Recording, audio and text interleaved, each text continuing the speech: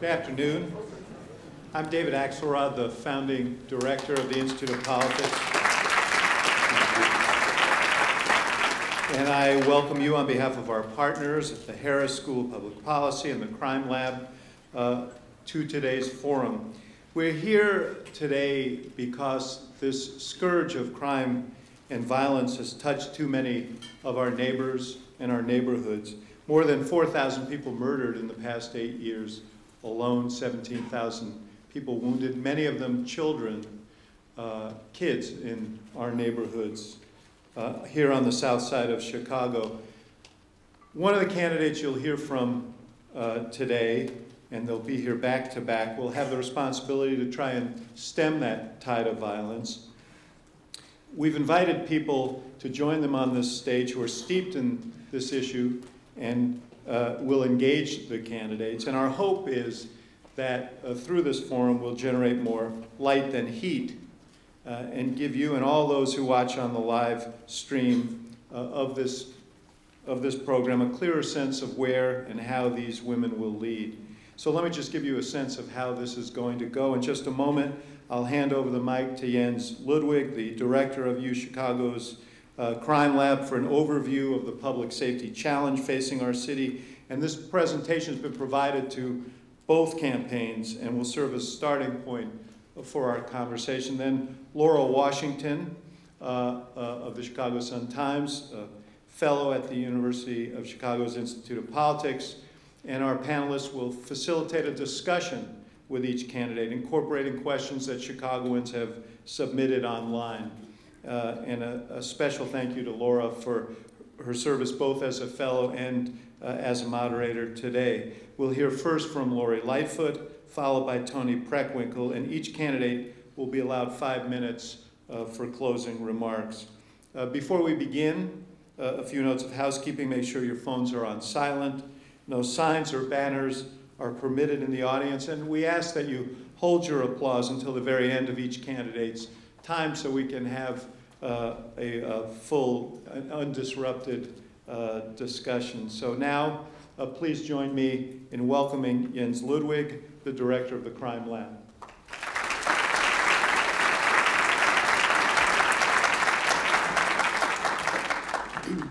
Thanks very much to the IOP for organizing this, for the candidates for coming, for all of you for coming. Thinking about public safety in Chicago, I think has the, has the potential to make us feel numb. The number of stories, the numbers that we see day after day after day. I think it's critically important for us to keep in mind that behind every one of these numbers that we see is a human life, that every one of these lives matters, and that every one of these lives is connected to a family and a community that's now completely devastated. The problem that we see in Chicago is something that literally every city across the United States is struggling with. So if you look across different cities, cities are so different in size, looking at the total number of homicides in a city is not very useful. It's much more useful to look at the number of murders per capita or murders per 100,000 people living in a city. You can see that Chicago has a murder rate that's substantially higher than many cities in America, but there are also many cities that have substantially higher murder rates than what we have here in Chicago. So while Chicago is not unique in struggling with the problem of gun violence, we are in a very unique point in time right now here in the city of Chicago. Um, you can see that in this graph. This shows you murder rates per capita in Chicago going back to the late 1800s. That's the red line in this graph. Um, we're also showing the murder rates for New York City, which is the green line, and Los Angeles, which is the blue line. So I think there are two things that are really striking about this figure. One is the incredible consistency over most of the last century in the rate of murders per capita in these three cities, with just two key exceptions. One is the 1920s and the Prohibition era, and the other is right now. So as we're entering into the mayoral election, I think it's, it's important to keep in mind this is a very, very unusual historical moment that we have for our city. This problem of gun violence in the city of Chicago is very, very closely related to inequality and in most other social problems across the neighborhoods in the city. You can see that in this map. Gun violence is very disproportionately concentrated on the south side and particularly the west side of the city. These are the same neighborhoods where, where poverty and related social problems are very concentrated. Now, given the amount, given this neighborhood patterning of gun violence in the city of Chicago and the enormous amounts of racial and economic segregation we have in the city, the result of this is massive disparities in mortality rates from homicide across race and ethnic groups in Chicago, particularly for men. This leads gun violence to be a first order major public health crisis in the city. If you look at the United States as a whole, homicide is one of the uh, large contributing factors to overall disparities in life expectancy between blacks and whites in the United States. And the, the challenge for gun violence extends far beyond just the families that are victimized and the communities directly that are victimized. In many ways, the problem of gun violence may be a, a very threat to the future of the city itself. So some of my colleagues at the University of Chicago have done research showing that every homicide that happens in a city reduces the city's population by 70 people by increasing the rate at which people move out and reducing the rate at which people are willing to move in. Here's what that means in practice for our city. So this is a graph that shows you population levels for several different cities in the United States, where the population in each year is expressed as a share of that city's 1950 population. Okay? And so the top line here is New York City, and what you can see is that New York City was experiencing population loss through the 1980s, and then rebounded and is now, if anything, a little bit larger now than it was in 1950. The bottom line here shows you what happened to Detroit. You can see that since 1950, Detroit lost fully 60% of its population. And almost exactly in the middle of New York City and Detroit is Chicago. I think in many ways, this is one of the key big picture questions for the city as a whole is which direction are we going to go next? Are we going to go the direction of a thriving city like New York or a dying city like Detroit? Now, the good news, the good news is that this is not, this is not an inevitable feature of modern urban life. Right? We can see that Los Angeles and New York have figured out ways to make great progress on this problem. We can also see from the research literature that there are a variety of solutions that seem to be effective. We're developing a good body of evidence on different things that we can do. Here's what I think the challenge will be for the next mayor. Whatever combination of strategies the next mayor puts in place, the one thing that we can be very sure of is any serious solution to this problem is going to be enormously expensive. And I think much more expensive than almost anybody is currently talking about in the city. You should be thinking well into the nine figures. We're also going to need resources to implement the other part of the crime and criminal justice, the related crime and criminal justice challenge in the city, which is implementing the consent decree for the Chicago Police Department. Um, that the, police, the consent decree for the police department imposes a lot of new requirements and uh, compliance rules for the department. But the other thing that it does is it invests, looks to make a, a number of additional investments in the police department as well. And you can see why that is from reading the DOJ report, the Department of Justice report about the police department. There is something going on with the Chicago Police Department right now. Um, you can see that the, the rate of suicides among police officers here in Chicago is fully 60% higher than what you see in the national average. Um, so the new mayor is going to come in. They're facing a big public safety problem that's most likely going to take an enormous amount of resources in a city that has a budget situation that's not great. Um, let me close by considering the question of where the resources might come from. And so let me leave you with one striking feature of the state and local tax system that we have here in Chicago. So imagine that you're a household towards the bottom of the income distribution. Your annual income is $25,000. That's about the poverty rate that we have. Uh, that's about the poverty rate for a family of four. That household living in Chicago pays something around 15% more state and local taxes living in Chicago than they would if they lived in New York instead. Now imagine instead that you're an affluent family in Chicago with an annual income of about $150,000. If you're living in Chicago rather than New York, you're paying something like 15% lower state and local taxes living in Chicago compared to living in New York. Or put differently, we have a city right now that effectively gives tax breaks to rich people while poor people are going through a public health crisis. This is a set of very, very serious challenges that whoever takes over the fifth floor of City Hall is going to face. I'm very grateful to the candidates and for all of you for being here to discuss these issues today. Thank you very much.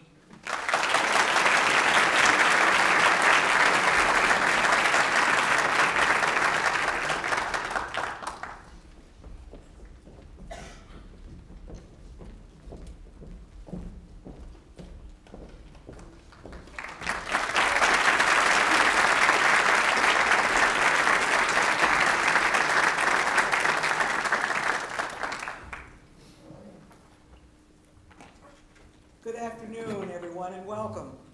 My name is Laura Washington, and I'm going to be facilitating this very crucial timely conversation today. You're in for a, a very different kind of conversation than you may have heard before on this campaign trail or any other campaign trail. We have with us today three renowned experts in the areas of crime, policing, and community engagement who are going to lead us through a conversation with our candidate, Lori Lightfoot. I'd like to first introduce them, and then we'll get right into the conversation. To my immediate right is, uh, next to the candidate is uh, Liz Dozier, who is a former principal of Fenger High School on Chicago's far south side. She's currently founder and CEO of Chicago Beyond, a social impact investor that backs the fight for youth equity and justice. Alex Kotlowitz is an award-winning journalist, author, and documentarian. His new book, An American Summer, Love and Death in Chicago, chronicles the city's violence through a series of intimate stories in some of Chicago's most turbulent neighborhoods. And Charles Ramsey has served as police commissioner in Philadelphia and Washington, D.C., and he is a former deputy superintendent and a 30-year veteran of the Chicago Police Department. In 2014, he served as co-chair of President Obama's task force on 21st century policing. Give them all a round of applause.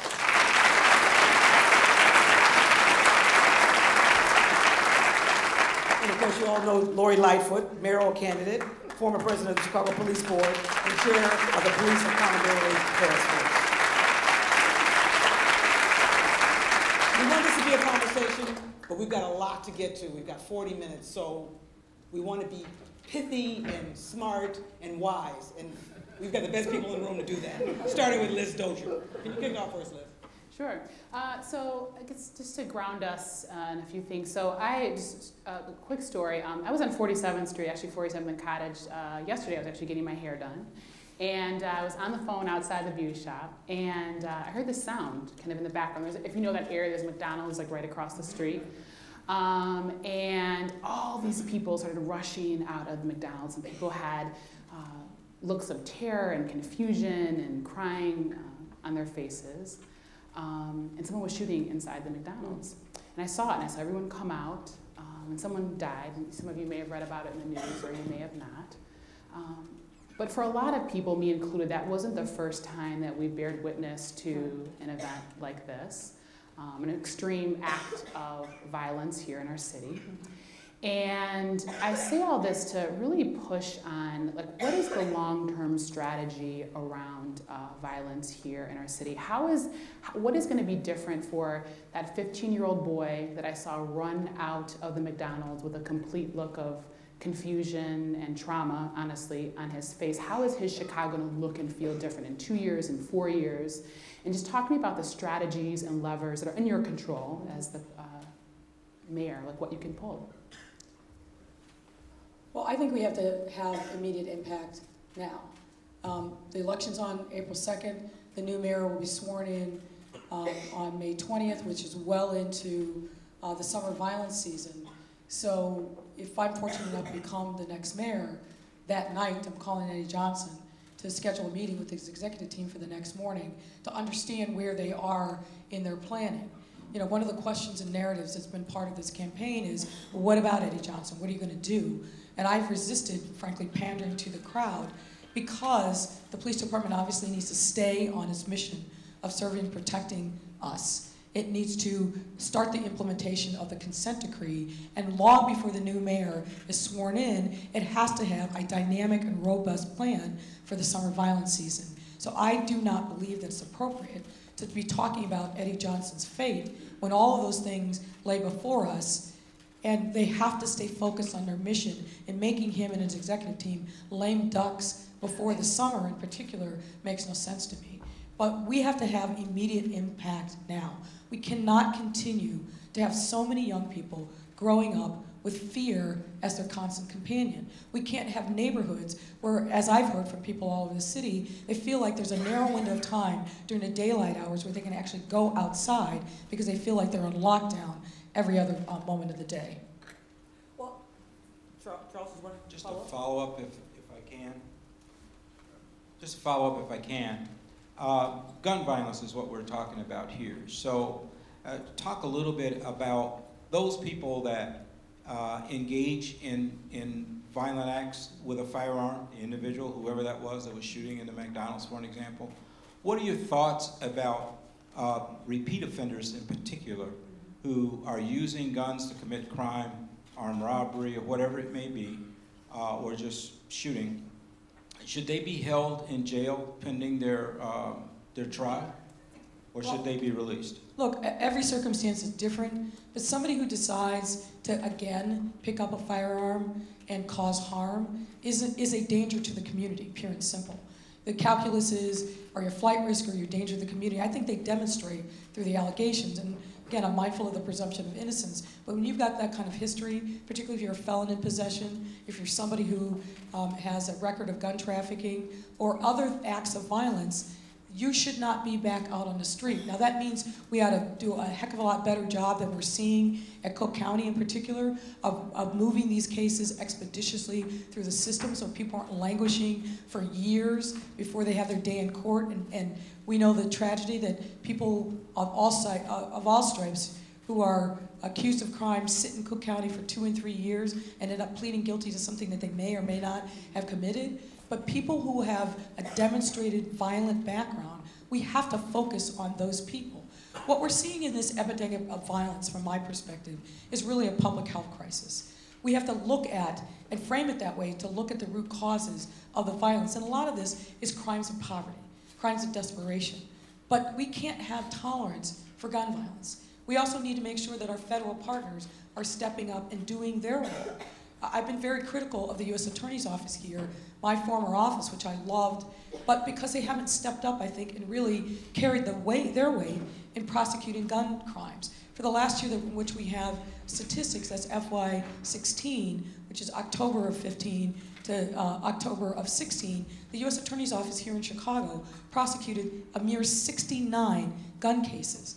You compare that same, same time period to Detroit or Baltimore or St. Louis, smaller offices with less resources, those officers were producing 200 and 300 gun violent cases. We, the federal partners have to step up. And I think anybody in CPD who's worrying about these, these cases, and the superintendent included, would tell you that the most violent offenders that are out there on the street, they don't fear state prosecution. They fear federal prosecution. But it's got to be a proactive plan to deal with gun violence, not just here in Chicago, but in Gary, in Hammond, in Indianapolis, Milwaukee, Wisconsin. All of the states that are the sources of the guns have to be coordinated with the local police departments to stop the traffickers, the felons in possession, possession and the straw purchasers. Alex? Yeah, so what- I was gonna ask you if you could maybe back up a, a little bit, because, you know, for me, the, what's been most unsettling and disturbing is the stubborn persistence of the violence over the past thirty years. And I guess, uh, and I'm sure that as you travel outside the city, people, it's one of the first questions people have for you. And I, and I, I, I guess my question to you is, how do you explain the violence to others? What do you see as, and you talk about the root causes, because it's more than just obviously just a, a problem of policing. And so, how do you think about the reasons behind what we've experienced Listen, it's really hard to explain it. I mean, I grew up in a very small town, and I'm fortunate to have my mother, who's 90 years old, um, still living. When I talk to her on the phone daily, as I do, or when I'm there with her, it is a constant stream of conversation. And, and also, as I've been running for mayor and traveling all over the city, trying to explain to my now 11 year old daughter that she doesn't have to fear for me when I travel to areas of the city that have been plagued by gun violence is a really hard conversation to have. So I think about it what, in the way that I've said, which is there are areas of our city that are not only different, that's not, it's not just a tale of two cities, that's way too simplistic, and you know this. It's, it's like we live in a different country. We live in people are living in just shamefully unacceptable conditions where, frankly, the illegal drug trade is the largest employer in way too many neighborhoods. And when that happens, violence is going to follow. Now, that's not something easily explained to an 11 year old, but I know that to be true as part of the problem. We have to give people an opportunity to hope that they can dream beyond their current circumstances, and more specifically, to connect up with the legitimate economy because it actually exists in their neighborhood. We cannot continue on a law enforcement first and only strategy. It's not working, that's very clear, and it's never going to get at the real root causes that are, are permeating in these neighborhoods and seeing that manifest itself in these explosions of violence. Now, Liz, I know that you have, that's a particular issue of yours, of the, the role of the community in all this. Yeah, so I just was curious. So, what does that actually look like in very practical terms? I, I do agree with you in terms of the root causes and really getting to the base of that is, is what will, will where we'll be able to see that long-term systemic change in our city. Um, and we've oftentimes played whack-a-mole in, in, a lot of ways. And so, what does that look like in very practical terms? You know, in terms of whatever it is, programs or kind of your strategy. And then, what does it look? How do you actually pay for it? So, as a principal, like here's a bottom line budget that you have, and you've got to. That's it. That's what you've got to work with. And so, what does that look like? Where does money come from to do what you're proposing? Well, a lot of what I'm proposing is a, is a shift in focus and priorities, but let's be clear, we're paying for it now. The, the lack of investment, um, the, the poverty that we're seeing has real tangible costs. We're paying for it by the excessive amount of law enforcement that we need in the city. We're paying for it by the number of people that are cycling through the criminal justice system and something that's supposed to be due process and, and justice, but looks nothing like it if you've gone to any of the criminal courthouses. We're paying through, uh, for it by the lack of access to good quality medical care, with people showing up in the emergency room and using that as their primary care doctor. So there are real tangible costs that are existing right now today. What I think we have to do is a number of things, and, and I'll try to be as succinct as possible, which is different, difficult when I'm summarizing an 18-page single-space public safety pro, uh, program, but I'll do my best. Two large pillars. One is treating it as a public safety, um, a public health crisis. That means investment, investment, investment. Investment in jobs, investment in um, small businesses, investment in stitching back together the social safety net, and particularly around uh, mental health and trauma services. We have kids here that are uh, experiencing a level of trauma that's akin to veterans that have done multiple tours in Iraq and Afghanistan. That has to fundamentally change. So that's part of it. And I also say from a, from a mayor's perspective, let me make sure that you're clear about this. Right now in the city of Chicago, we have two people who are full-time focused on the full array of public safety responsibilities for this entire city. Not just policing, but everything. If you compare that to New York, that has about 50 people in its mayor's office of public safety, or 30 in LA, it's hard to say that we are really serious about public safety in this city. And I don't mean to be flip or trivialize it, but we got to put our money where our mouth is. That's why I propose standing up a robust mayor's office for public safety, which will be the first of its kind, and making sure that we're not only attending to the violence, but dealing with this growing community of victims that we have all over the city. Making sure that we have a real thoughtful policy and practices for the returning citizens that are coming back into communities, particularly on the west side, by the thousands every month into circumstances that were every bit as bad, if not worse, than what they had before. So that's some of it, and making sure that the pillars and the levers of city government are being effectively utilized to combat this challenge of our time. We have to have that kind of focus. On the other part of it, um, sorry, Laura, I'll be quick, um, is, the, is, is, the gun violence. And I, I explained part of it, which is making sure that our federal partners stand up, but we also have to do something about the terrible, awful statistics of a homicide clearance rate that's 17%, and if you have the audacity to live after you're shot, it's in the single digits. And I've got very specific ideas about how we can address that issue as well. And what are those ideas? Can I? No, no, Can I? Okay. It's something I want to get Because. I Yeah. you talked earlier about this notion of justice, and that's where that, I think that trust in the police Yeah. completely erodes. Well, we had, we had a particularly violent uh, weekend last summer, I think it was in July, where 70 people were shot, um, 12 killed, and almost every single one of them was outdoors. What I understand is that these were, uh, some of the violence was around these big, huge outdoor parties that were trending on Facebook. And the intelligence side of the police department understood that, passed it over to the patrol, division, but we didn't act. The, we didn't send extra patrols out. We didn't make sure that the uh, people that were sponsoring those parties were doing what they needed to do. And as a result, we had 12 people shot. And by my understanding, still, these many months later, there's only been a single person that has been arrested and is facing um, the criminal justice system as a result of um, those shootings uh, over that weekend. Well, that, that's obviously unacceptable. So the first question is, what happened in the breakdown between the intelligence side and the patrol division? We got to fix that. We also need to make sure that our detective division gets out from behind their desk in the areas and is embedded in the neighborhoods, just like the patrol division is, so that they can start to build relationships with the community way before the shootings happen.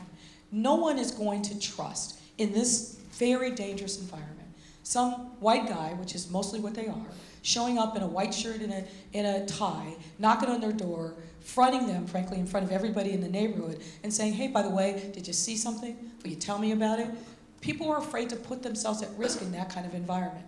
We also need to make sure that our detective division is trained in all of the latest technology, from the cameras that we have all over the city, ShotSpotter, which is an incredibly important technology that we had, I think, probably around the time that, that Chuck was last here, um, but we've now reinvested in that for, uh, as a result of philanthropic dollars that have come into the city, that they are actually also working in the st- uh, strategic decision centers that have been stood up with the assistance of the, the crime lab that they know about the NIBIN technology that was formed by the ATF so that they can understand how powerful that is in tracking shell, uh, shell casings and understanding how guns travel. So there's a lot of training that has to be done that frankly our detective division doesn't have right now. But the biggest thing is making sure they're closer to the streets, that they are forming good relationships with the patrol officers who know those streets as well as anybody else, and that they are understanding that doing a canvass after a shooting isn't community relations. Chuck, I'd love to get your reaction to, to, to the strategy she's laying out. In particular, I know that you're very concerned about training, and she brought up training.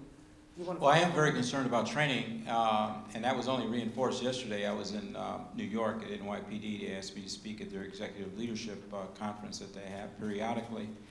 They just spent $750 million for a brand new state-of-the-art police academy. And what I liked about it and was the fact that it was it was 21st century in, in, in, in the sense that there was a lot of space devoted to role play. So they can begin to put officers in scenarios and they actually test them on their judgment and things of that nature. Eh, You know, whether it's dealing with someone on a subway car or maybe it's in a bar, uh, whatever it might be, they actually have space set aside where they've recreated that. And I, and I, and I think that, in fact, I know here in Chicago, our, the police academy here is at least about 45 years old. Uh, and it was never in the greatest of shape to begin with. Um, they need a new facility here. Uh, what are your plans around the training for police officers? Because I think that with this consent decree, and I'm on the, I'm on the monitoring team in both Baltimore and Cleveland, training is essential. Without training and education, is simply not going to go very far. You have to invest and spend time retraining officers. You just mentioned it with uh, uh, uh, detectives and how they canvass and how they make death notifications, all those kinds of things. So what are your plans around improving training for officers? And I just, I just want to add to that, as I understand, you're not necessarily in favor of the Police and Fire Training Academy as it's, as, as it's being proposed now, and which is, uh, sounds like it's along the lines of what you saw in New York, John. Well, I, I was struck by one of the comments that, that Chuck just made, which is $750 million in a state-of-the-art training facility in New York. What we are talking about here is 98 million, which is, which is, which is, well, well, but it's not going to be 98 million. If you're really going to do it right, it's going to be far more than that. But challenges that I have with the current plan, Chuck is 100% correct. And let me give you a, a reason why we absolutely need a new tra- training facility. When we were doing our work on the Police Accountability Task Force, I remember sitting in the conference room with the then executive team at the academy. And we had spent many, many hours with them. And I asked the question so, is there any annual mandatory training that is required by veteran officers other than firearms qualifications? And the team kind of looked at each other, looked at each other again, and shook their head no. So imagine this the police department's most important asset is its people. And yet, for years, we have done virtually nothing to provide them with the kind of support and leadership training and, and, and all kinds of real world trainings that translate to their ability to effectively um, do their job on the street. And that, that, that absence of training continues to manifest itself um, every single day in their relationships with people on the street. The fact that we don't have uh, opportunities for them to engage in simulated um, training that, that mimics what they're going to see and hear and feel on the street is a real problem. So my issue isn't that we need more training, we desperately need it. And the roadmap for that was laid out in the Police Accountability Task Force that was picked up by the Obama DOJ report. Some of that is now uh, memorialized in the consent decree. But beyond that, we have to be thinking smart about the way that we make these big investments in a community that is so resource starved. So it's not just the police academy, it's about we're going to make up an investment in this really, really poor West Side neighborhood where tensions between the community and the police are fraught. There hasn't been a plan to think about how that investment could actually spur other economic invel- um, development in that area that desperately needs it. So what would you do differently? Would you put, put it in a different neighborhood? Would you spread out the facilities? No, What I- would be the su- substantive I- I- difference I between wouldn't- what you would do? I wouldn't necessarily put it in a different neighborhood, but I think that there has to be, in every investment that we make, a process that starts with respectful engagement of the people in the community whose lives are going to be most affected. Whether it's this or whether it's other in, on other policy implications, that wasn't done here, and that's why I've had a problem with it. The other thing I would say is, in talking to um, some of the potential bidders, and this was when I was at my law firm, they looked at the plan and said, this doesn't seem like it was drafted by people who actually know what a real training facility ought to look like. We ought to be putting together a state of the art training facility ourselves. It ought to be something, frankly, that we can monetize and bring other local law enforcement at every level, uh, local, state, and federal, into that training facility and have it pay for itself and, frankly, help us um, address some of the needs in the police department through that revenue stream. But there doesn't feel like that kind of thoughtfulness and planning has gone into the so-called cop academy. Well, the, the city council is, is set to approve this facility, and it's very likely it'll be passed and approved before you take office. So what are you gonna do about that? How are you gonna Well, do There's that? a lot of things that are, are attempted to be done between now and the swearing in of the next mayor. I'm going to do whatever I can to right any wrongs if I'm fortunate enough to become the next mayor. We do need a new academy. I also frankly think, from what I've talked to line police officers, people in the exempt ranks, we also have to have the flexibility to bring people to other parts of the city and not just have one centralized location. And From a logistical standpoint, when we need to do mass training, it's really difficult to do that when you'll have only one location. It's much easier to be able to do it when we have multiple locations. And, and let us not forget, we've got 38 schools that are vacant from the school closing, some of which could be repurposed to help us with our training needs in the police department. Sure. Um, there's a little switch of uh, pivot point here, but I'm just curious. That one of the things that uh, I've seen, I think a lot of folks have seen, is you've been like all over the city. You've been listening and talking to people, um, and I think people have appreciated that. And I'm curious is if you think about you know you uh, assuming this role as mayor, like how do you how do you keep your ears to the ground? There's oftentimes this notion uh, that, and it's it's you know existed for ages of like you know researchers and funders and people with particular degrees in certain institutions. Those are the brains, and the community is the brawn. So the brains are at the table oftentimes in whether it's you know city government or state or federal. That's and, and we oftentimes kind of shut the voice of people out. And so I'm curious, aside from CAPS meetings and those i things, how, how does how does the community play a real role in helping you think about violence and the interruption of it in, in your potential administration? Well, I, I'm a member of the community. I live in a neighborhood, um, and, frank, and frankly, a lot of people are, are in my ear about a range of different things. And you said the brains are at the table. The brains are in the community.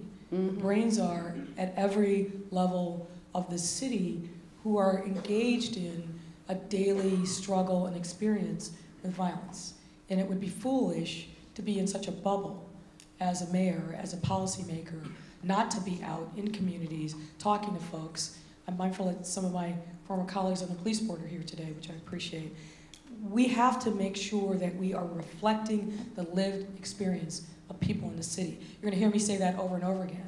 We can't have policies that are created on the fifth floor of City Hall and then trotted out to the neighborhoods and sold to people as what's best for them. And how do you do that? Mhm. You, you do that by having open and honest dialogue with folks. If you're thinking about taking on a challenge, you've got to know who the relevant stakeholders are. You invite everyday folks into that discussion, and then you start a process by which you engage and look at the nuances for policy. I know from my own experience in public life that if people feel like they are heard, that they have a seat at the table, even if they don't agree at the end of the day as to what the policy prescription is, it's going to have far more legitimacy because the process has been one that's engaged people all over who are um, strong, have strong opinions, expertise, and who are affected by whatever that policy is. So that is the way that I will govern because for me, that's the only way that you can get to the best results. Lori, can I ask in that regard, I mean, you've had a really varied career in the U.S. Attorney's Office as a private attorney, as a, part of the police board. And I guess uh, one of the questions I have is, has there ever been a moment or moments where that have, in your interaction with the community, has upended your thinking about the violence? That's what I'm Uh, saying. upended your thinking about the violence, has changed the way you view the world? Because it's one of the things about, I think we hear about politicians often is that they have such great certitude. And so I think Liz's question is really, not only will you interact with the community, but will you hear them and have them challenge your own assumptions? Well, there, there are two experiences that kind of stick out in my mind, particularly over this last year, that have really made me um, think longer and harder about what the solution should be. Let me give you two examples.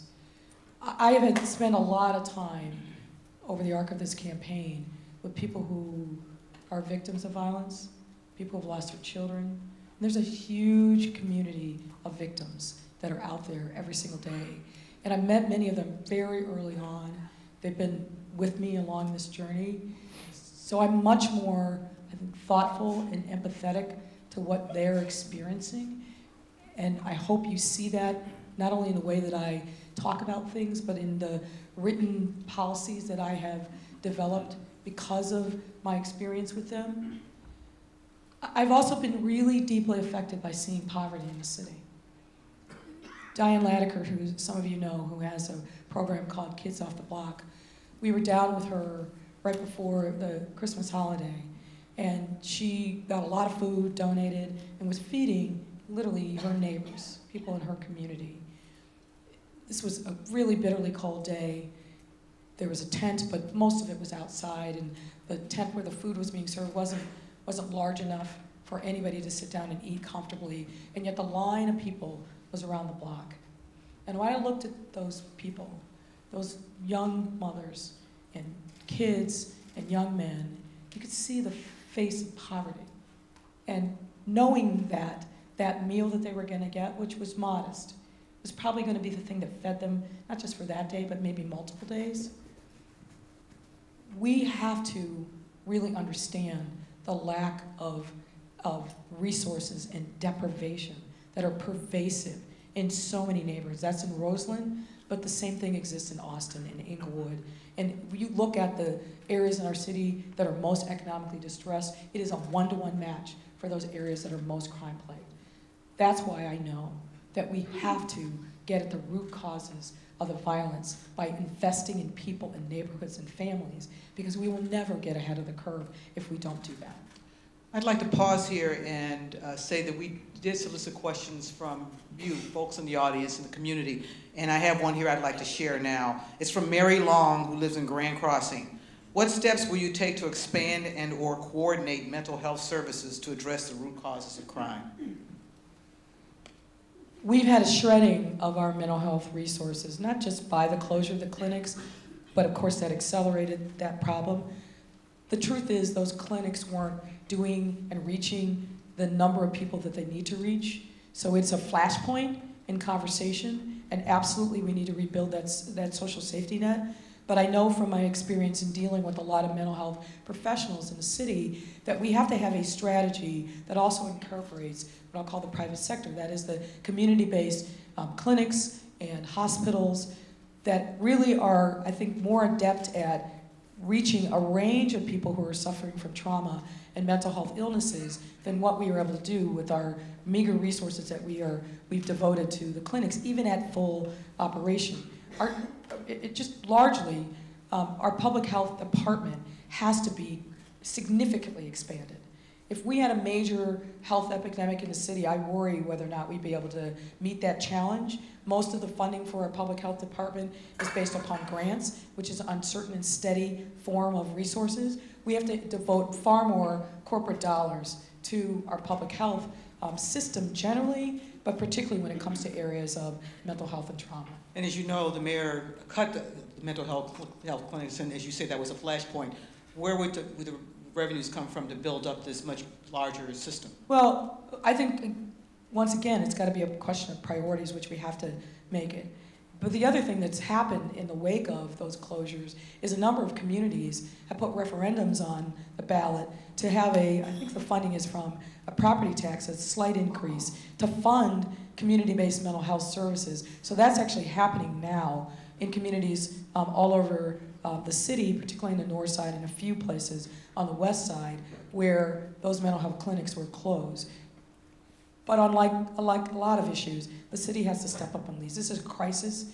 It has real economic and other consequences for, the, for us as a community, so we need to find the resources. Grant funding, don't get me wrong, for the philanthropic uh, community, we love you, um, keep it coming, but the city itself uh, has to step up and put real money behind um, that most urgent um, public health system. Mental health is something I'm, I'm very uh, much uh, concerned about uh, when it comes to violence and the aftermath of violence.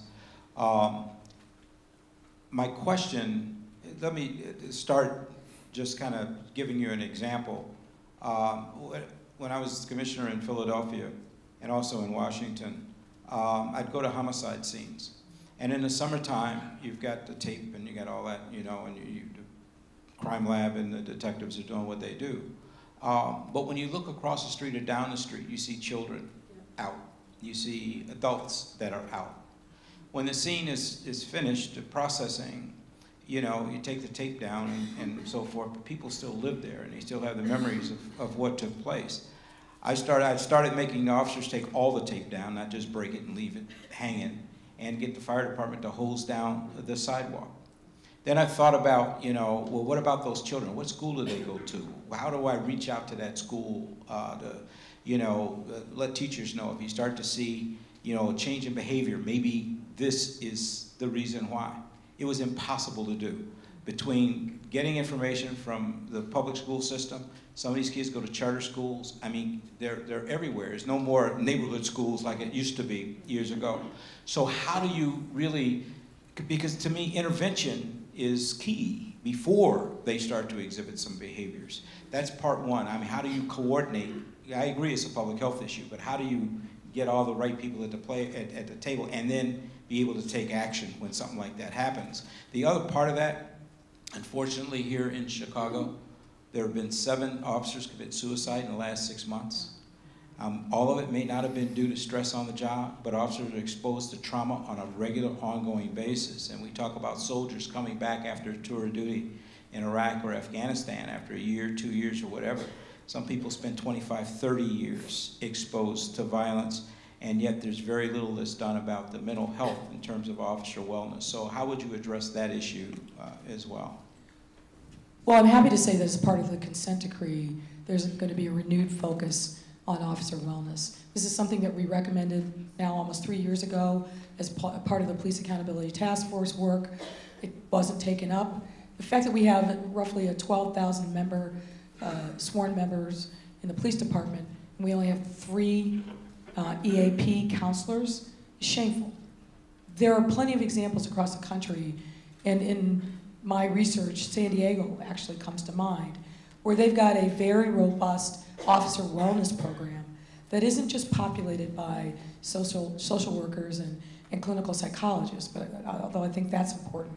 They also have um, got people who are on the job, who are quote unquote the real police, who are providing peer to peer assistance and help, particularly when it comes to officer involved shootings, which, as you all know, is one of the most traumatic experiences that an officer will have over the arc of a career. Most people go through their entire career, they never fire their firearm in the line of duty. For officers who do, and having been out on probably 80 plus shooting scenes in my career, it's a very traumatizing experience. We have to do better. We have to do much, much better. Doesn't have to wait until the new mayor's set up. Doesn't have to wait on the consent decree mandating that this happen. Go back to what I said before. The most important asset that the police department has is its people. We would never have another organization structured like that where the assets are the people, where we invest so little in not only their professional development, but their health and well-being. We have to change that around dramatically. Now that's not popular in a lot of circles, but if we don't do that, it is going to have real consequences in how these folks perform in discharging their duties every single day on the street. It endures to the benefit of the community that we have a good, well-trained, and healthy police department. So that's got to be a critical priority. Um, and I've now already forgotten your first part, Yeah, which well, is the- about coordinating city resources. Yeah. Look, Quickly, it- because it- we're. it- Yeah, it's not, it's not easy, it's not gonna be, but that's precisely why I think empowering a mayor's office for public safety to be able to respond to those challenges, because, well, you're right, it's not just CPS, it's all the charters, it's the Catholic schools as well. It's not just uh, making sure that the fire department houses on the street, it's being there and available in those communities to provide them with support that they're absolutely gonna need. There's a number of um, private groups that do that, but coordinating all those efforts has to have somebody in the mayor's office who focuses like these issues on a laser beam and has all the various stakeholders um, uh, you know, on speed dial so that when something happens, there's a protocol that clicks into place so that we're better supporting those communities. And that gets back to your public safety uh, office idea, that, that those, those are the folks that would be on the front lines on that. Absolutely. Okay, we only got about uh, th- three minutes left. Uh, Alex, or, Sure, I mean, I want to go back to something that Liz alluded to earlier, which is the need for finding ways to strengthen community. And one of the things that for me has been clear, is spending time in places like Englewood or Lawndale or Austin, is that these are communities that are still reeling from the 2008 housing crisis. And, you know, the Woodstock Institute has, you know, uh, uh, found that, you know, in some of these communities, one out of every six homes are abandoned. And of course, when you have communities that begin to fray like that, they become terrain that's ripe for the violence. And so, specifically, what do we do about all these vacant properties that are so eroding the sense of community in these neighborhoods? Well, first of all, we, we have to, I think, be more creative about thinking about ways not only that we turn those properties into valuable real estate for people in the community, whether by building, you know, maybe $100,000 homes. I think there's a lot of developers in the city that have a great interest in doing something like that, providing real affordable home op- options, making sure that we're providing resources to existing homeowners that are living in homes that they can't afford to keep, um, keep and maintain. Those are things that I think the city has to play a role in, in partnership with philanthropy and private, the private sector. I think we also have to make sure that those communities get the same kind of city resources that communities on the north side do. When you travel, for example, on the west side, not only are those neighborhoods have vacant lots and dilapidated housing, we're tolerating a level of violence and community I don't even know what the word is, but I think about the fact that I, I was actually on the west side on Sunday and was talking to uh, a group of folks, and there's a strip mall over there that's businesses going on. But when you pull into the parking lot, you got some guys yelling, blow, blow, and selling dope out in the open. That has an effect on people in that community. I frankly called the superintendent and said, you got to do something about this. This is nuts.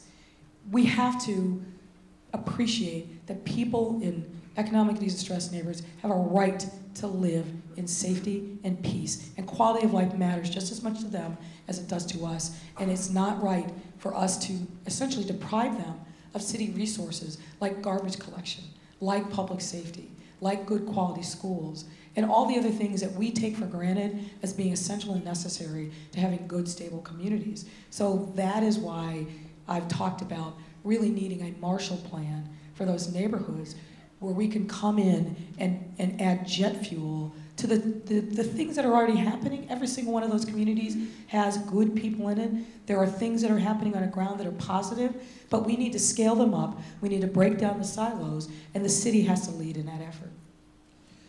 We are uh, down to the wire, and uh, we would like to allow you to have closing remarks. But as you think about anything else you want to sh share with us, think about what you've heard today from this very illustrious panel and what you've learned from them and how that, tell us about how that might impact your decision making and policy making going forward. Well, I'm, I'm sitting here with people who have devoted their lives and careers um, not only to public safety, but to social justice and equity and inclusion. And I'm very mindful of that, and I'm grateful for the conversation. But my, my thoughts and, and um, ideas about how we can make our communities safe are also informed by the people out there who are living in really difficult circumstances every single day. We have an obligation to speak to their needs. We have an obligation to not let them feel like nobody hears them or sees them and that they are on their own in dealing with incredibly difficult circumstances. Let me also say this. In the last seven years, we've had over 23,000 people shot in the city. That is an unacceptable number. And it's not just the statistics that are chilling, which is frankly larger than the, the small town that I grew up in. Every single one of those shots is lives on either side of the gun that have been shattered that families who are going to be, ever be living with the trauma of that moment and the moments like that, we have an obligation as a city to do far better. And if I'm fortunate enough to become mayor, there will be no greater priority for me than to bring peace and safety to our neighborhoods. Peace and safety cannot be a commodity that is only available to the wealthy. We, we can do better than that in a city, and I know how to lead us in that way. Thank you. Thank you, Lori Lightfoot. Thank you for our panel.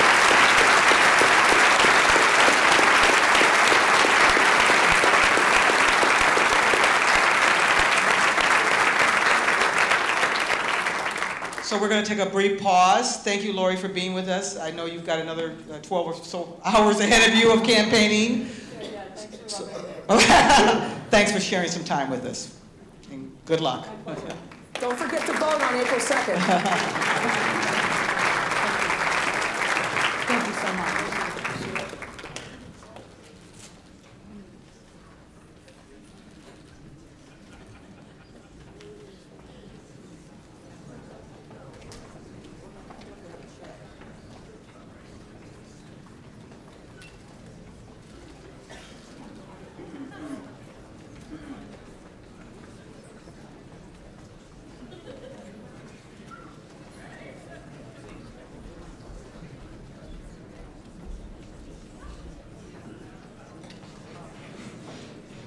just a couple minutes and we'll be starting with uh, Toni Preckwinkle.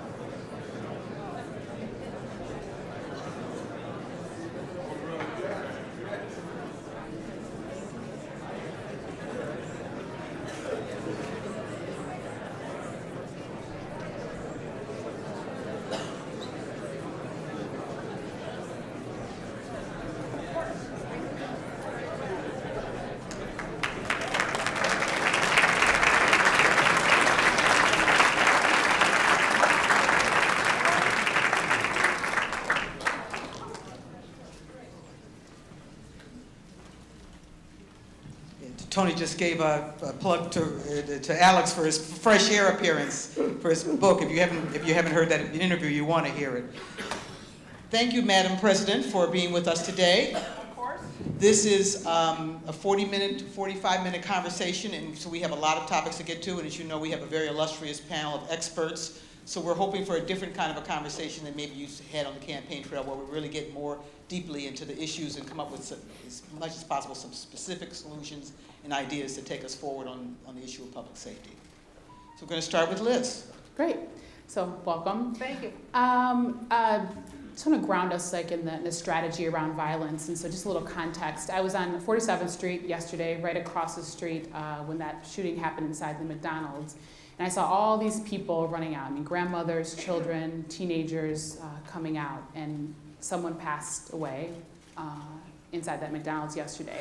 And that wasn't my first time seeing something like that or being in, in that moment. And I don't think it was the first time for many of the people that were running out of that McDonald's. And so I really want to push on like what is the long-term strategy for us as a city?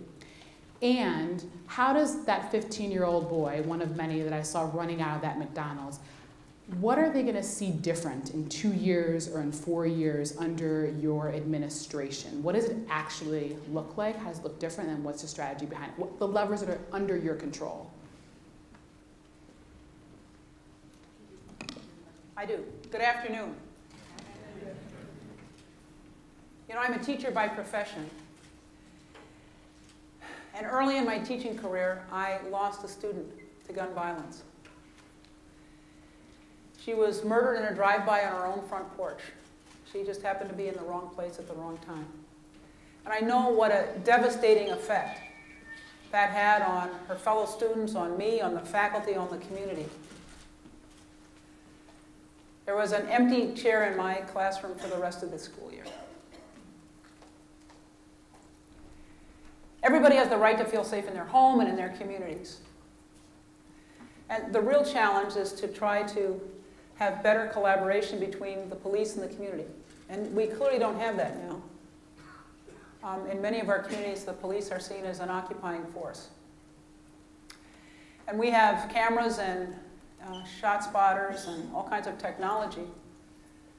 But we still have more murders as the third largest city in the country than New York and Los Angeles combined. And while we desperately need to invest in more training, we've done a disservice to our police officers by not providing them with more professional training over time and over a long period of time. Actually, I talked to a high-ranking officer in the last month or so who uh, admitted that he had, had gotten a refresher course in, in, in use of force. It was the first time that he'd had such a course since he was in the academy, which was decades before. We need better training for officers. We need better supervision. The model, the national model, is one sergeant for every eight officers, and in some of our police districts, it's one sergeant for every 30 officers.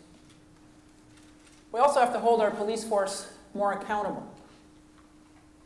You probably know that nationally, out of every 100 murders, 62 or 63 suspects are arrested. But here in Chicago, it's less than 20 percent. Depending on who you talk to, it's 15, 16, 17% of the murder cases someone's actually arrested. And for the shootings, it's less than 10%. So for our most serious crimes, we're not doing a very good job of bringing the guilty to justice. And of course, that has a devastating and ripple effect in the communities because if you know that the person who killed your brother or your uncle or your dad or your neighbor is unlikely to be brought to justice, the temptation is to seek revenge or retaliation yourself. And of course, that just magnifies the violence. I, let me just add, you know, um, the people who do the shooting are also those who are most likely to be the victims. And this is a, this is a public health crisis. And we are particularly impacted in the county because our health and hospital system, Stroger Hospital, has a world-class trauma center, and we get a lot of the gunshot victims in our health and hospital system. And we've started a program called Healing Hurt People to work with the young people who have come into our, our hospital who've been shot.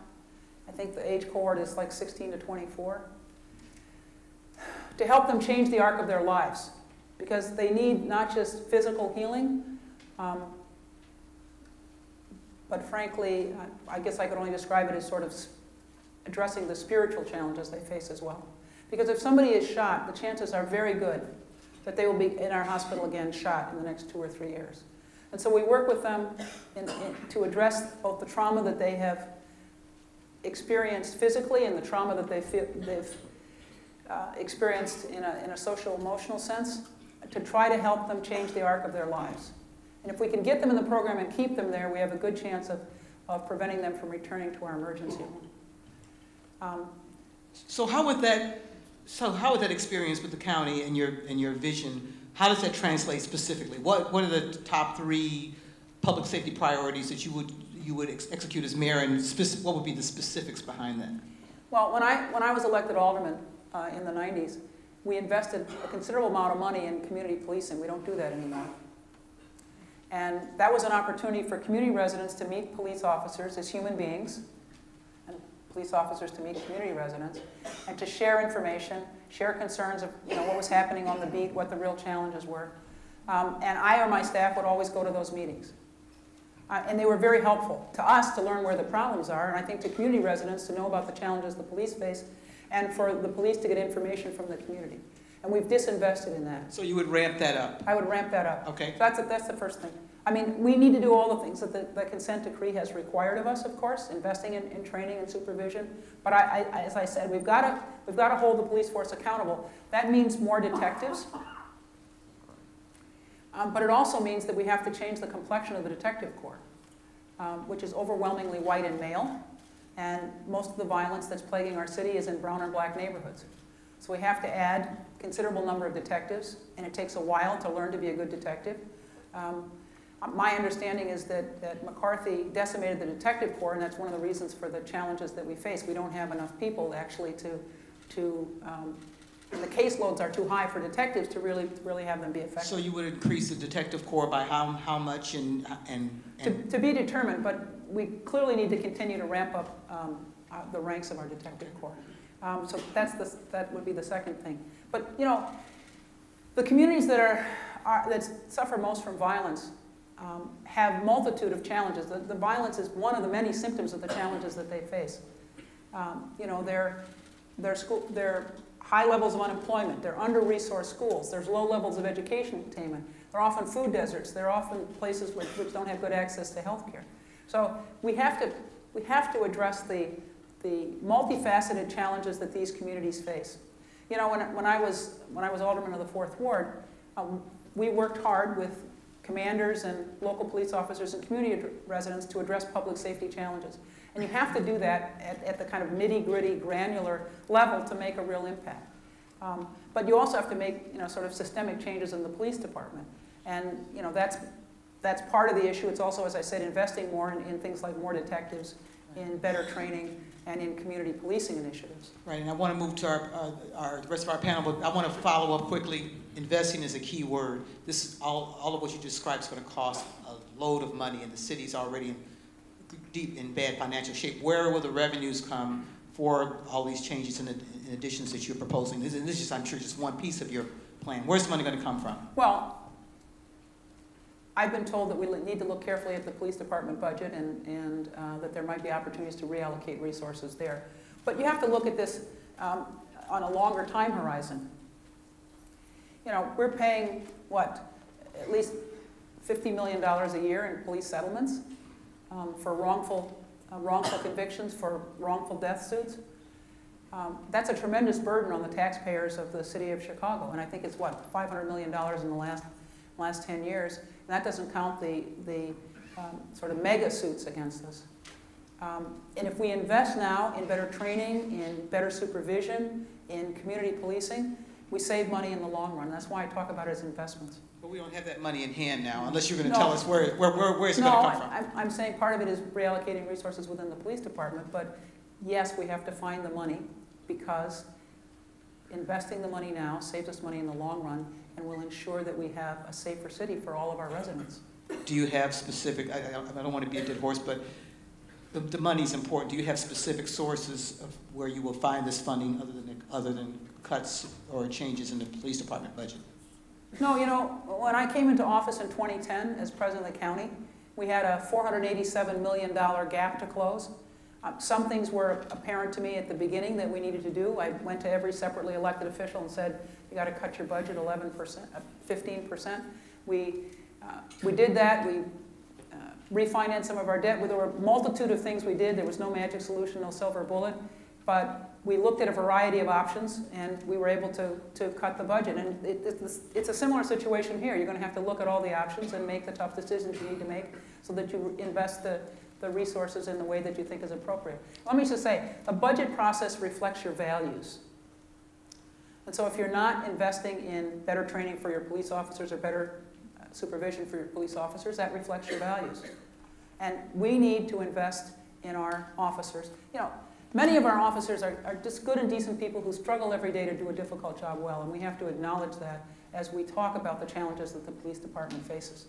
Alex? Yeah, so Toni, I was going to ask, I mean, I, I think, I wonder sometimes whether we make the mistake of, when we talk about the violence, of think, of putting such a burden on the police, because it's not simply a police problem. And I guess my question for you is for, you know, w- one of the things we talked to Lori about was, you know, one of the things that clearly has, I think, really been distressing in the city is the stubborn persistence of the violence over the past three decades. And when you're asked to explain it to people not from Chicago, how do you explain it? How do you explain why the violence?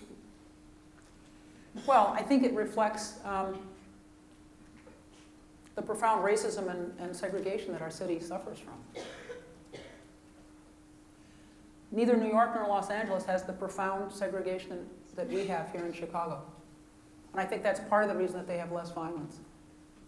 And furthermore, the poorest communities in Chicago are poorer, relatively speaking, than the poorest communities in New York and Los Angeles. In other words, the disparity between the poorest communities and the average in Chicago is much greater than in New York and Los Angeles. So our poor communities are relatively more profoundly impoverished than poor communities in New York and Los Angeles. And that's partly a result of, of the segregation, it's partly because of the profound uh, disinvestment and neglect that these communities have faced, which of course is related to the racism and the segregation. Um, and that's why when I talk about the violence, I always talk about investing in the communities. You know, what I found as we um, rebuilt North Kenwood, Oakland, Douglas, Grand Boulevard, the northern and western parts of my ward, we saw a decline in criminal activity, partly because there was more people, more eyes on the street.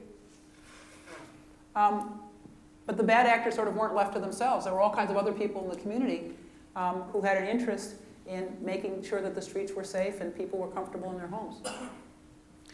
So when you, just to, to piggyback off this question, 'cause I'm curious, so when you talk about some of the root causes, which I absolutely agree around racism and concentrated amounts of poverty and how that is different here than it is in Los Angeles and in New York. And you mentioned earlier about really getting to the, the multifaceted challenges that undergird all the, what we're seeing here in the city. So what do you do about that? Those are big, but to your point, like very long term, very like systemic things that have been rooted in the city. Like, what do you do? Like, again, how I would just come back to this. How, that 15 year old was running out of the McDonald's yesterday. How's how is it going to look different for him under your administration in like two years and four years? Yes, around racism. Yes, around concentrated poverty, but we, we're also in the now. And so, what is what looks different? Well, one of the things that we've invested in um, for the Chicago Cook Workforce Partnership, which is our employment training entity, is a program called Opportunity Works. And it's a program that was designed for people, young people who are at risk, some of whom were justice involved, to help them with basically internship programs um, in transportation distribution and logistics, manufacturing, careers that they could enter in at a, at a low rung on the ladder and move up, uh, oftentimes without a lot of um, formal education, uh, to give them a sense of um, work life and give them an idea of the, of the other options that are available to them in the street. Um, and that's a program that we, we've had a lot of luck with. And again, we targeted those who were at risk, those who were at risk um, identified by their school, uh, identified by their local police department, or um, who are already involved in the criminal justice system, justice-involved youth.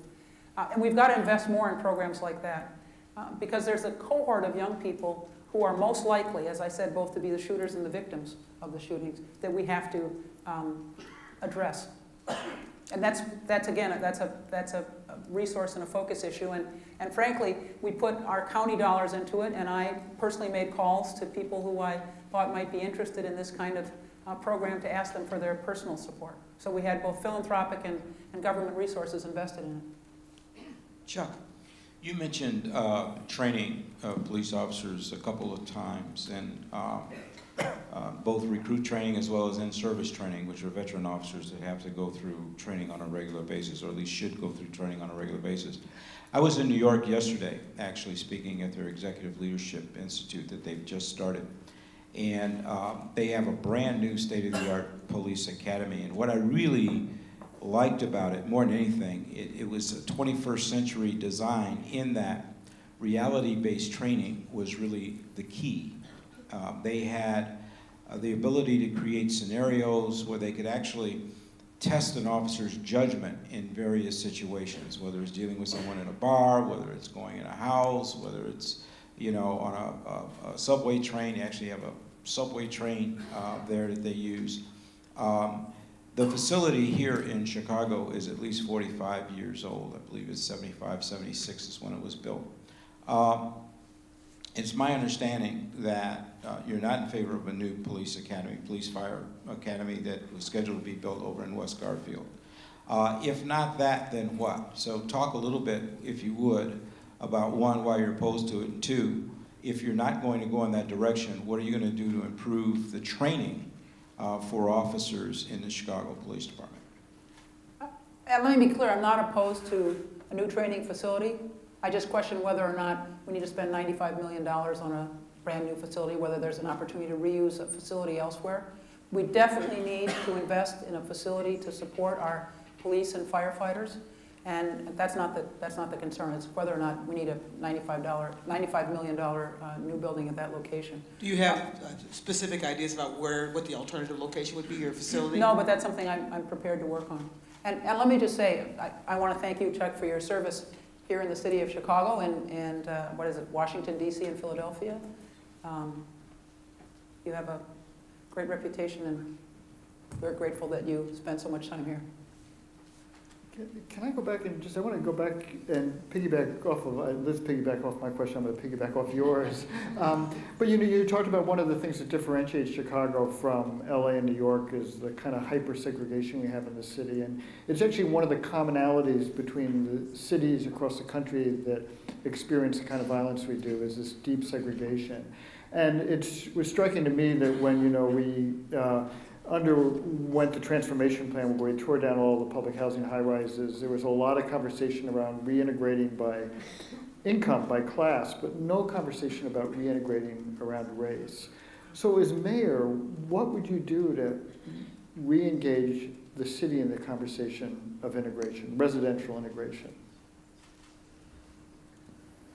Well, that's a tough challenge. Um, there were three CHA transformation projects in my ward, um, one of which was one of the largest public housing developments in the city, Ida B. Wells, uh, which is now Oakwood Shores. Um, there were two smaller developments. Um, and frankly, we, you're right, we focused uh, entirely on income. Uh, one-third public housing, one-third affordable, one-third market rate. Um, addressing the, the segregation in our city is a tremendous challenge. I mean, acknowledging it is one thing and talking about it in the way I just did. Um, but it's, it's very, this is a tough nut. Um, we saw as we redeveloped North Kenwood, for example, and, and Oakland, that there were white families that moved in.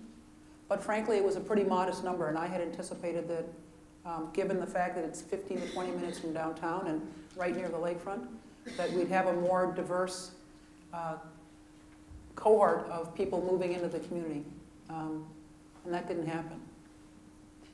And it's partly, you know, Chicago's long and bitter history around this issue, around the issue of segregation. So that's a good conversation to be continued. Yeah, No easy solutions. I'll say. Liz? Yeah, uh, one of the, so I was a principal for about six years before doing the work that I'm doing now with Chicago Beyond.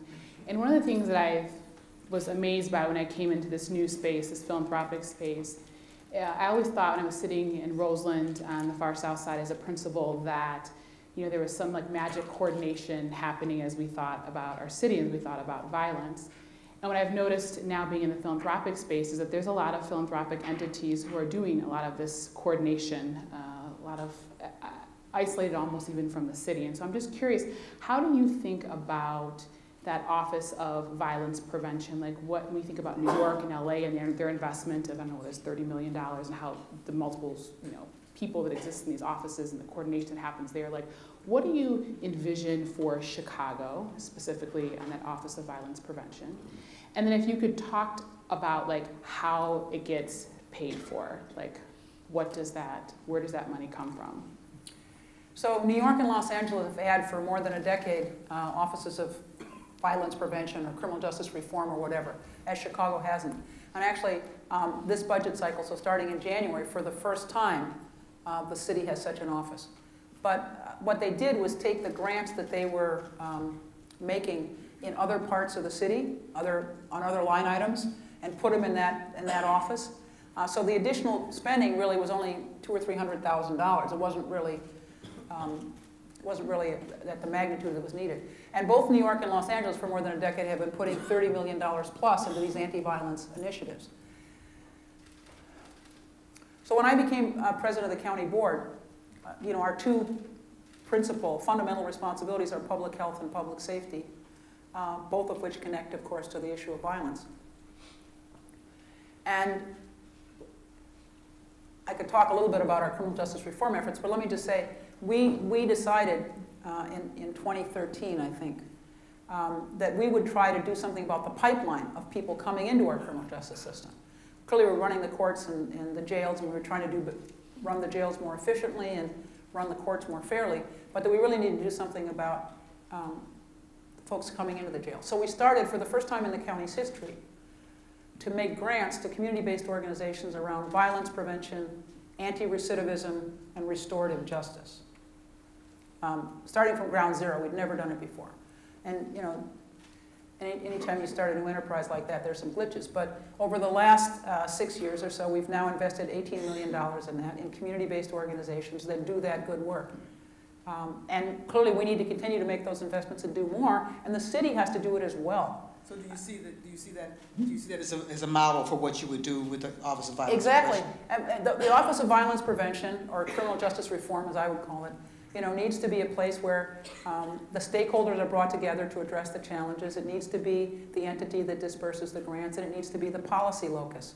Um, and we have to invest more in, in this kind of work. And, you know, God bless the foundation and philanthropic community, because after the, the terrible spike in violence in 2016, our, um, our philanthropic organizations, the Chicago Community Trust and MacArthur Foundation in particular, uh, stepped up, and they have been investing through the Partnership for Safe and Peaceful Communities, sometimes it's called the Partnership, uh, around $30 million for the last two years, 2017 and 2018, in this work violence prevention, anti recidivism, restorative justice. Um, and I am grateful to them.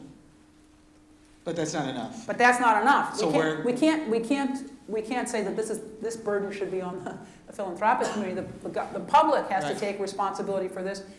In addition, um, and we should be doing funding that same kind of work at the city at, at the at least the, the levels of New York and Los Angeles, given the magnitude of the, of the challenges that we face. So we're talking uh, about, I'm go sorry, ahead. real quick, the, Go ahead. scary part, I think, for, for me is that as we think about what's really happening in this city, it, it shouldn't be incumbent upon the whims of the philanthropic space, because that can change. And it can change really The fast. flavor We've of the month, seen the flavor of the month go. can change. Yes. And so it's like, how does it exist within the entity of our, our government? How is it stable? So that, so that resources do get distributed in an equitable way. Not saying it doesn't happen in the philanthropic you know, space, and it's not equitable there, but just it, there's too much, you know, potential variance there that it needs to be rooted in our city government. So where do you find the money within government and how do you protect that money? Again, or it's- organize. Again, it's, a, it's, a, it's an eight point five billion dollar budget, and so, you know, you have to look carefully at the way, where you're spending money and make uh, expenditures, investments, I'll say investments, make investments based on your values. I want to move to one of the, we took some questions from the audience uh, beforehand. I want to move to one of those from David Shazua. Shaz- I'm sorry if I'm botching it, Shazua. And he, and he asked, what quantitative measures should be used to evaluate the next mayor's performance on controlling crime and violence? And how often should that measurement be calculated? In other words, how should we measure your performance quantitatively and how often should we do it?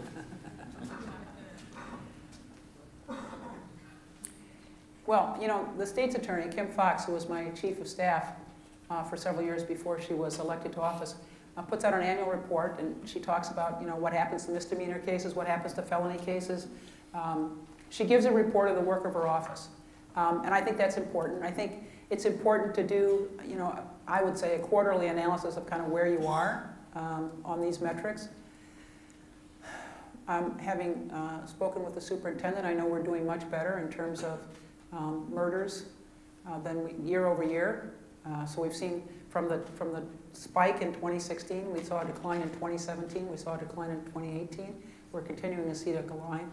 Um, So I- that would be one measure. That'd be one measure. And, and, and let me just say, um, you know, kudos, uh, kudos to the police department for that good work, but I think it also reflects the philanthropic investments. Because what the philan- philanthrop- philanthropic community did was do a kind of triage. Um, you know, the, the communities in which there was the most violence, they invested most in, in street interventions, you know, interrupting the cycle of violence. You know, after-school programming, investments in at-risk youth. So there were kind of three uh, buckets, and the communities that were the most violent clearly got the, the, the, the lion's share of the resources, but other communities that, that also experienced violence, but maybe not quite as intensely, also got resources. And I think that's had a real impact as well, um, as well as the smaller amount of money that, that the county has been investing in, in this over the last six years. So you know, these investments in community-based organizations that know the young people uh, in their communities um, and have a good handle on, on how they can work with young people and, and help them change the arc of their life are, are organizations that we ought to be uh, funding.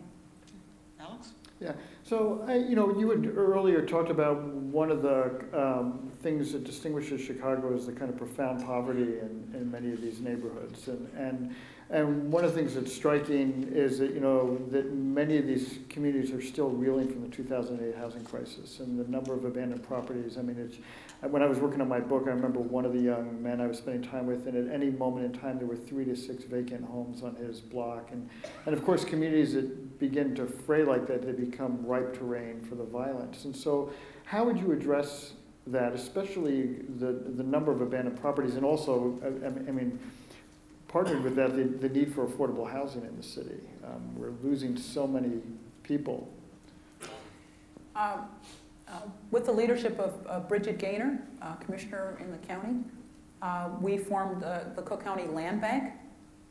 And the Cook County Land Bank gets properties from the, foreclosed properties from the banks, um, from the federal government. Um, They've also gone into the tax sale, the, the sale of tax delinquent properties in the county and uh, secured properties. And they have been acquiring abandoned uh, homes and then finding small developers in the community, and this has been really, um, this is not the big boys, this is small community-based developers, um, and rehabbing those homes and then selling them at, you know, reasonable prices in the communities. Uh, but let me just say, you know, the African American and Latinx communities were especially devastated by uh, the Depression. Um, you know, partly because they uh, were the subject of um, these, I can only describe it as mortgage fraud, you know, that was perpetrated on our black and brown neighborhoods. Um, and many people lost their homes, and in many communities, as you say, there are two or three houses on a block that are boarded up. And from a real estate perspective, my understanding is for every boarded up house, every, every home on the block it loses 10% of its value. So it, it not only has the effect of, of making the community look like resources have been withdrawn from it, but it, it impacts property values on the whole block. So the Cook County Land Bank um, has been ramping up over the last uh, three or four years, and I think the city needs to work much more closely with the land bank. We, it's the Cook County Land Bank, and so we have, as county government, worked very closely with it, but the city has to work more closely too, to expedite the time that it takes for these abandoned properties to get into the land bank and turned over to developers so that they can, um, can rehabilitate them and uh, put them back in the market. Because it, it, these vacant buildings have a devastating effect, not just around um, potential crime, but property values more generally and, and people's investments in their home, which is the biggest investment everybody makes. Most, I'm sorry, most ordinary working people make, not everybody.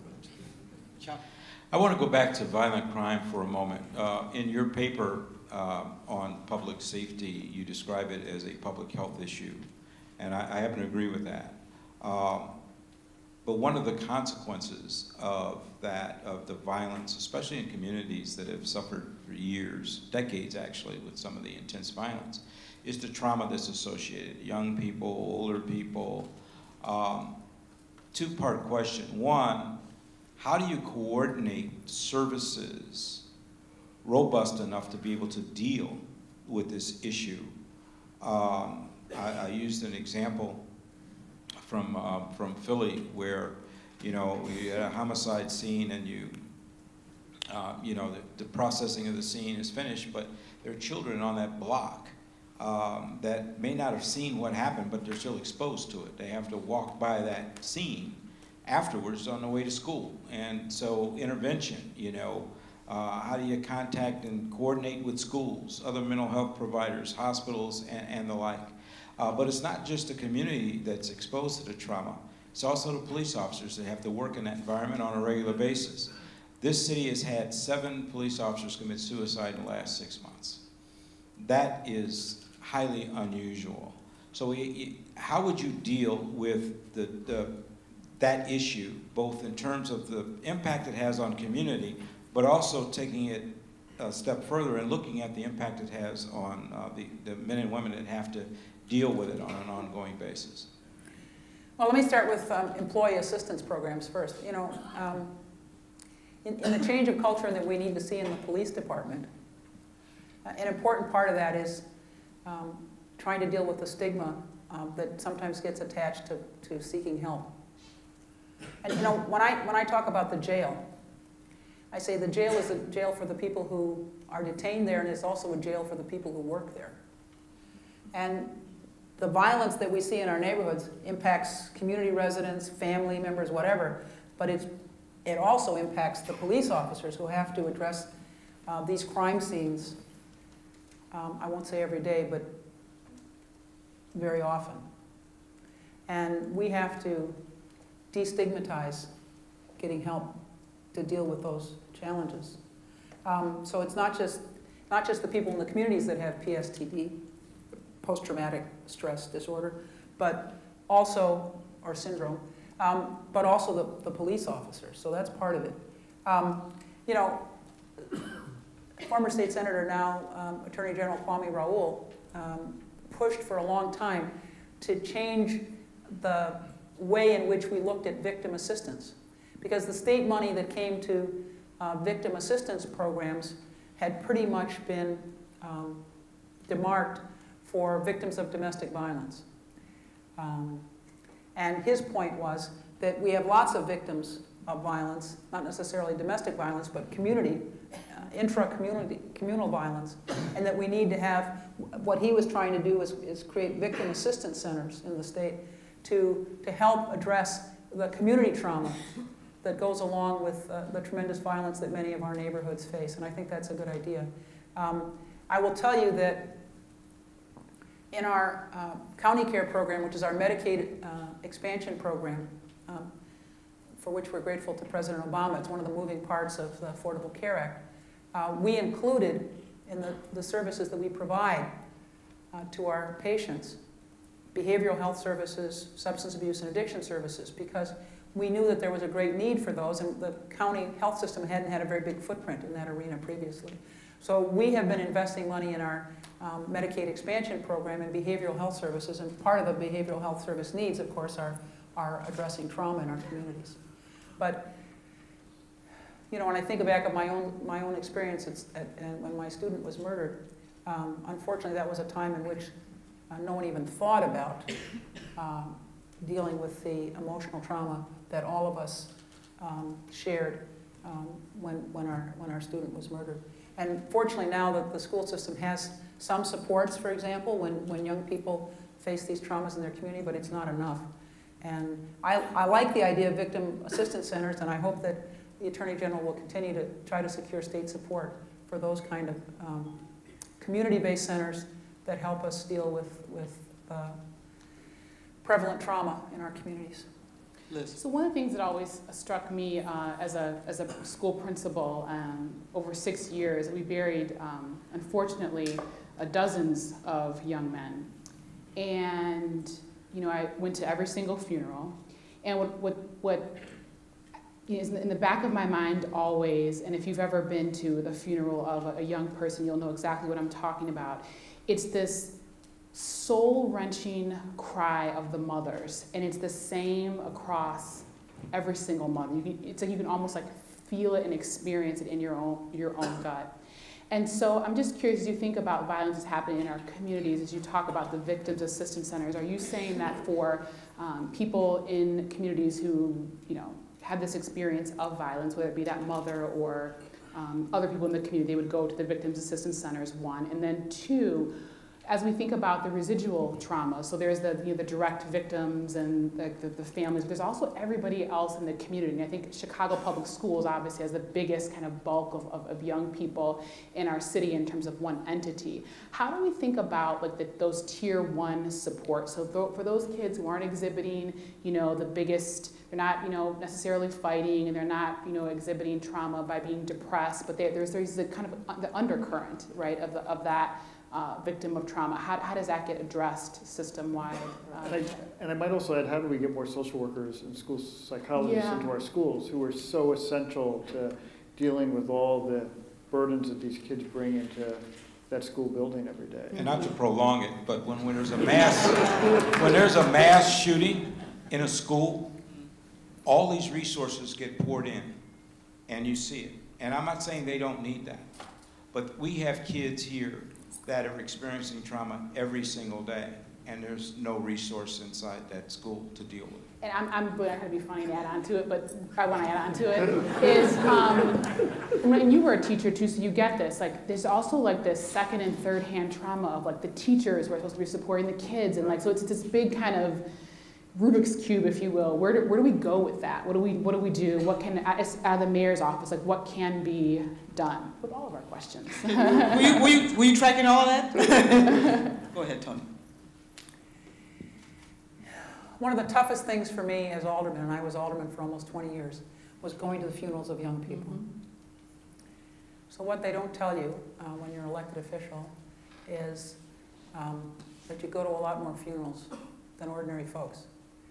Because it's not just your family and your friends, but all the people that you and your office touch. And you get a call that says somebody's aunt died or whatever. But the most wrenching calls, as you know, are the calls that um, involve a young person being uh, shot and killed. Um, and I went to more of those funerals than I care to remember. And uh, particularly because I was a teacher, you know, and I spent so much time with young people, it, it was always just devastating. And as you say, um, the mothers and the other family members, it's just, um, it's heartbreaking. It's heartbreaking. So what are your, what are your strategies, is, what would your strategies be as mayor, other than being a leader and comforting those mothers in terms of adding social workers, in ter- terms of addressing these multi-layered challenges that Liz Well, mentioned? as Liz knows, there's a, the, the present funding formula for our schools is pretty much per capita. Uh, it's per student, right? Uh, but the fact is that, that we have schools that have greater needs than others. and, you know, I'm a teacher, I believe in the importance of great teachers. But I know that many of our schools need bilingual support, they need social workers, they need psychologists. Um, in order to provide the wraparound services that our kids need in order to do well in school. You know, I don't know how you're going to do well in algebra when somebody got shot and killed on your block last night. You know what I mean? Um, so, one of the things we have to do is allocate resources differently to our schools to be sure that there's, there's need-based criteria as well as per capita allocations. And, and that's, that's a real challenge that we have to address. Um, Is that something that can be done uh, by CPS without, within shifting resources to the CPS or City Hall budget, or is that Well, I something that think- had to be I think- legislated? Um, I, having talked to people in the public schools, I think some of that is being done already. I think it needs to be, um, accelerated isn't the word I want to use. It needs to be intensified. Um, and, and I, I, I don't mean to demean the, uh, the trauma of adults in any way, but I think it's particularly important that we focus on our young people and the, the trauma that they face. And the families, of course, of the victims. Um, I just wanted to piggyback, this is really important. I think, I, I totally agree with you on, on the chi- children's point of view. This, I mean, as, as a teacher and as a principal, hundred percent. But the, those adults are the ones that are servicing those young people, and so if they're not right, then the kids aren't right. And so I just don't wanna, Yeah, I no, know you don't mean that, but just No, to. and, and this employee assistance idea, you know, um, the school personnel needs that help and support too. Um, If you're, if you're dealing every day with, with traumatized kids, that has an impact on you.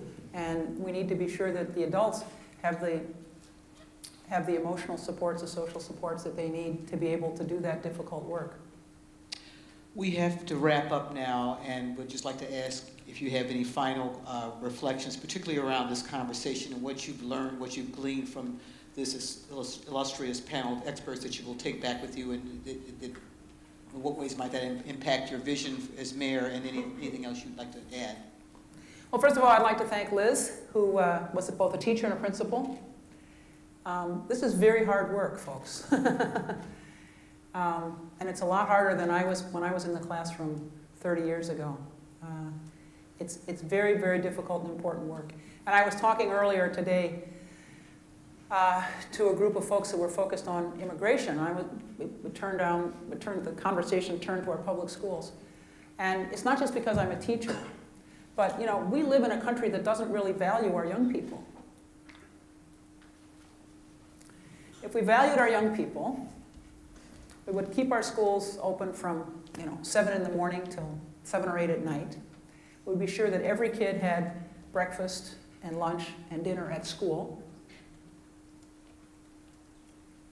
We would have before school and after school activities for our kids.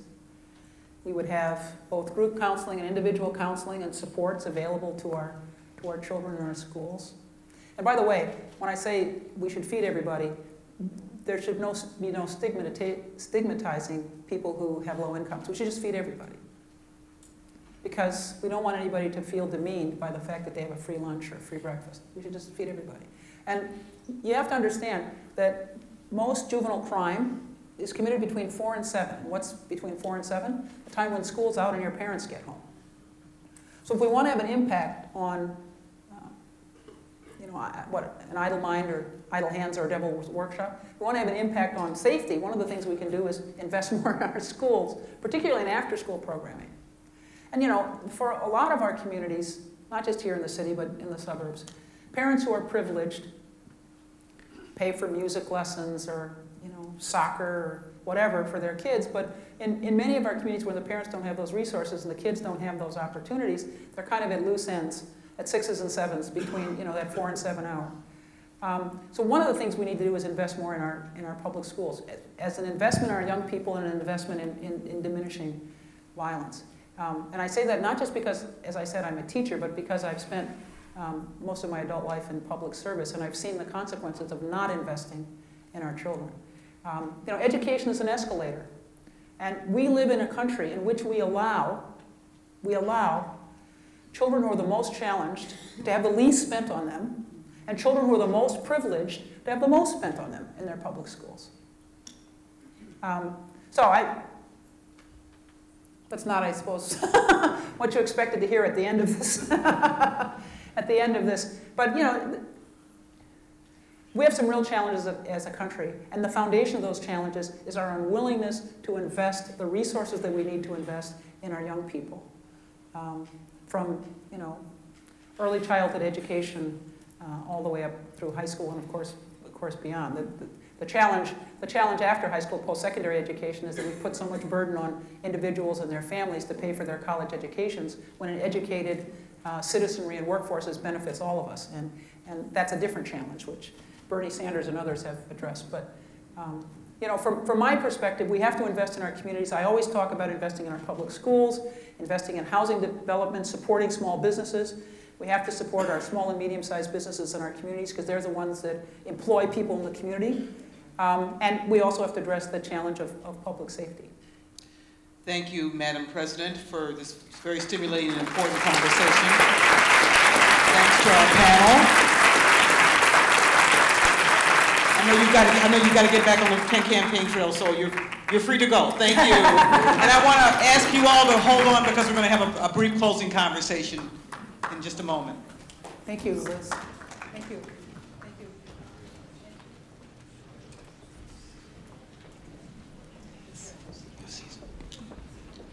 We just want to take a, before, before you dash, we just want to take a few minutes to ask the panel to reflect on what you've heard. Uh, I'd love to hear your takeaways. Uh, you had a lot of good, tough questions that we didn't get to all of them, but what's, what's your takeaways, Alex, uh, in terms of what you heard and what you didn't hear or wanted to hear more of? Well, I gotta say this is, I think, an, a remarkable moment in our city's history that we have two candidates like Toni Preckwinkle and Lori Lightfoot running for mayor, both of whom I think see so clearly. I mean, I think they both operate out of a, a, a kind of fundamental premise that life ought to be fair and just and um, and it seemed to me that so much of what they talked about today had to do with that. Um, you know, I think it's interesting that both of them, when we began their sessions, they both sort of right away went into talking about the police and the fraught relations between the police and communities of color, which are, needless to say, I mean, is on the absolute front burner where it should be. But I do think we sometimes make the mistake of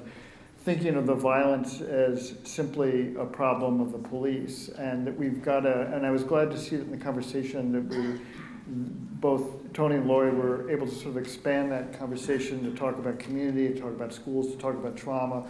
I mean, there's there's a not to sound too Jerry Brownish, but we've got to be much more holistic about the way we think about the violence. Charles. Uh, first of all, I was impressed by both of the uh, candidates. Um, it's not easy to have discussions like this within 40 minutes because there were a lot of areas that we weren't able to really uh, touch on. Um, but looking at violence as a public health uh, problem, I think is the right way to look at it. The challenge is how do you coordinate all the resources? How do you fund the resources that are short, quite frankly? The reason police have so much responsibility that's been thrown on them in terms of dealing with people suffering from mental illness and various other things is because the agencies that are actually responsible for it, their budgets get cut on a regular basis and they don't have the personnel to be able to address it. And, uh, you know, so I understand why, you know, funding is something that really can't be answered right away because it's just, it's difficult.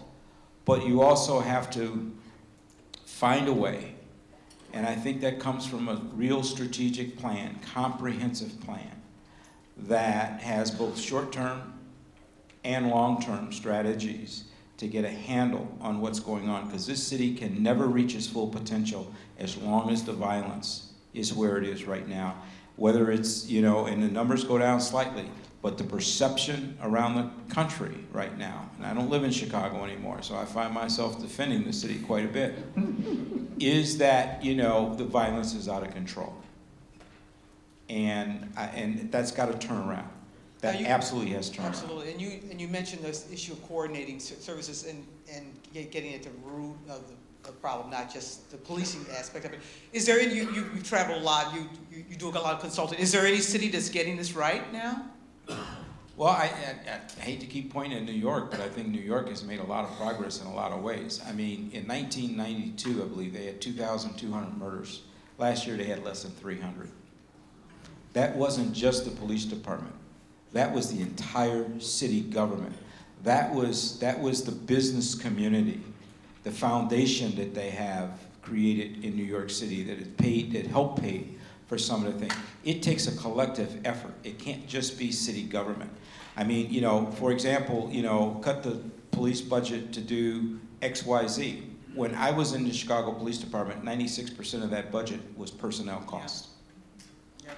In Philadelphia, 98% of the budget is personnel costs. So it's easy to say cut, but It's where are easy you to say cut? cut, Yeah. but where do you cut? And so for every cut, there's consequence. So what I'm saying is that if it's just up to government alone, it's not going to happen because you don't, you're not going to have the resources necessarily without cutting something else that's going to have unintended consequences that causes you now to have to deal with something else. Uh, so there are places that you can take a look at. There is no one place that's perfect. But it takes a sustained effort beyond administrations, beyond tenures of police chiefs and all that sort of thing. It has to continue on, but it's doable. There's no reason for Chicago to have the kinds of crime numbers that they have right now.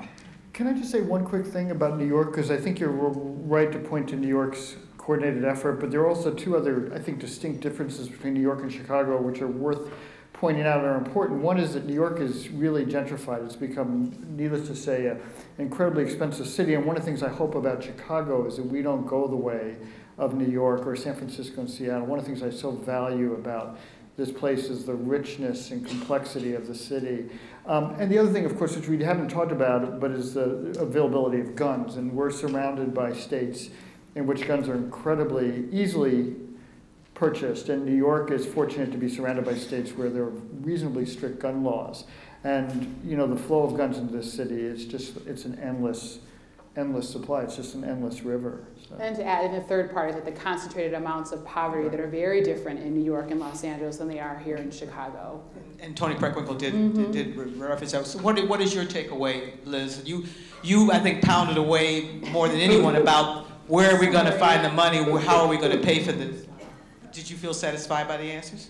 Um, I was, I, I'll say what I was happy about. I, I was happy that each candidate really uh, acknowledged the fact that this is, they didn't, you know, play into like the whack-a-mole idea of like, we're just gonna kind of do these kind of one-off things here, but they really, both of them, I think, double-clicked and talked to us about some of the systemic causes.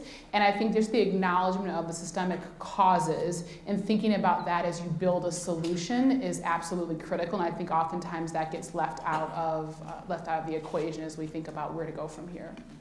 Can I just add one thing? Because I just want to make it clear. I mean, that was the first thing that came to my mind was New York, but I also am a native Chicagoan, so I realize we all have a second city syndrome here, too.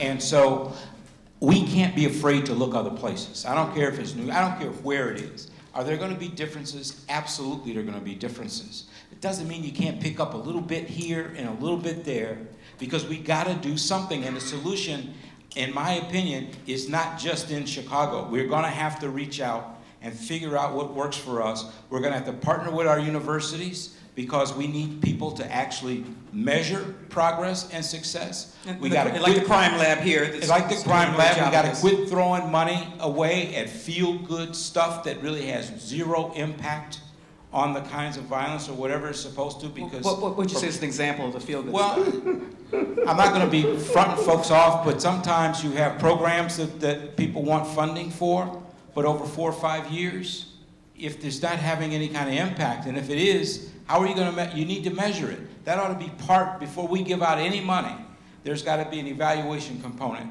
attached to it to see if it's working.